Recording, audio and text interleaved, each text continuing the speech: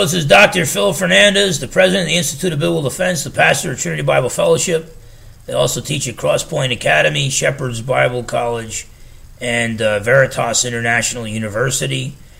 Um, today I'm going to talk about Jacob Arminius and John Wesley, and um, a few things I want to say there. Um, I've had a, a friend on uh, Facebook.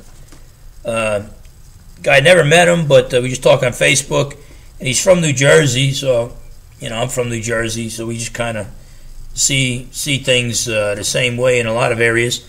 But he was asking me to do a program on the dis- difference between Arminianism and uh, Wesley's thought, and uh, and this is going to be real. This is going to be so general that my my friend's going to say, well, it was too general, you know, and uh, um, but you know I don't have a lot of time with it, but let me just say this. First, we'll start off with hyper Calvinism.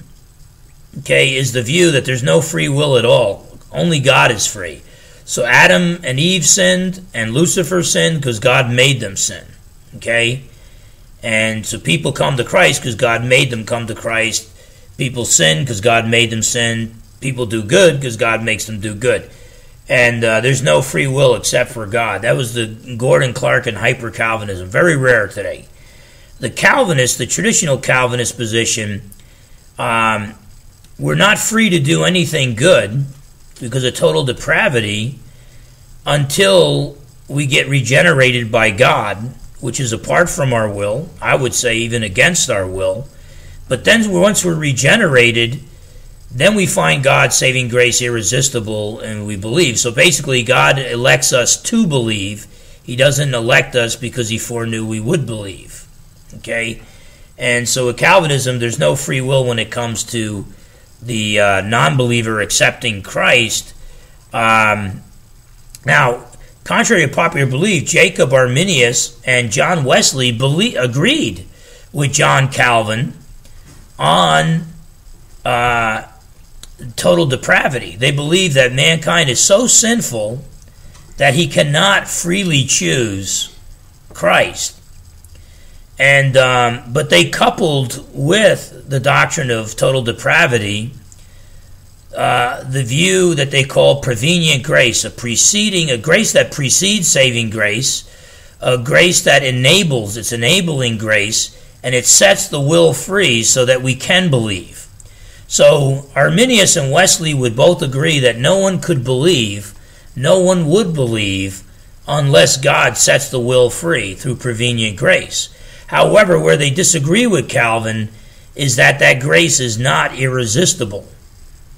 That uh, Arminius and Wesley would say that uh, the person is still free to resist God's saving grace even after the will has been set free.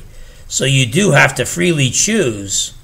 Once you've received prevenient grace, you still, when God draws you, He sets the will free uh, but then you still have to choose to believe. Now, Arminius eventually reached the point where he believed that um, he was kind of could have gone either way, but he came down on that the elect were eternally secure, but not every person who's born again, who's regenerated, is of the elect. So it is possible for a person, a believer, to stop believing and then lose their salvation. So nothing to do with works, but if you stop believing, you could lose your salvation, and uh, but then you couldn't get it back. Whereas John Wesley, uh, he believed that you could lose your salvation either by doing certain sins, continuing in willful habitual sin, or by ceasing to believe, but that you could get that salvation back again and again. Uh, Jacob Arminius said, no, once you lose it, Hebrews 6.46, you can't get it back. Now, on that particular point, I actually side with John Calvin. I think that uh, God does not unregenerate those he regenerates. If you're born again, you're not going to be unborn again. And um, that uh, true believers will persevere in the faith. So I don't view my walk when I work out my salvation with fear and, tra- and trembling. Um, I you know, I want to see the Holy Spirit bearing fruit in my life. I want to have God's joy. I want to keep preaching Jesus. And so um, I basically want to live like a believer's supposed to live. And that gives me assurance of my faith, allowing the Holy Spirit to work through me. But I believe once saved, always saved. And so I agree with Calvin, disagree with Arminius and Wesley there. Another disagreement there was that Wesley believed you could reach a point of sinless perfection, the doctrine of holiness, whereas Arminius did not go um, that far. Now, let me say this too often today's Arminians are not really Wesleyites or Arminians. Uh, many of today's Ar- Arminians are semi Pelagians. You know, Pelagius taught that Adam just set a bad example and Jesus set a good example for us on the cross. So we kind of got a wounded will, but not a fallen nature. We don't need to be really born again.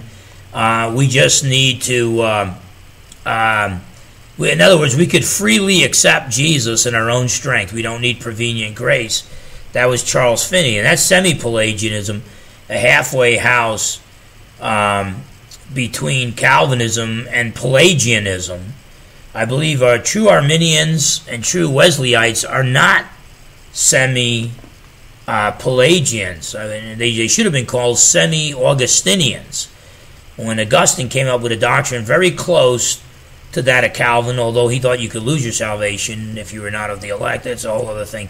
But um, uh, Augustine, after he died, his disciples brought free will back in the picture. And I agree with the historian of Christian thought, Justo Gonzalez, that they should have been classified not as semi Pelagians, but as semi Augustinians. And then Calvinists and Arminians would be viewed as second cousins, not as uh, being diametrically opposed.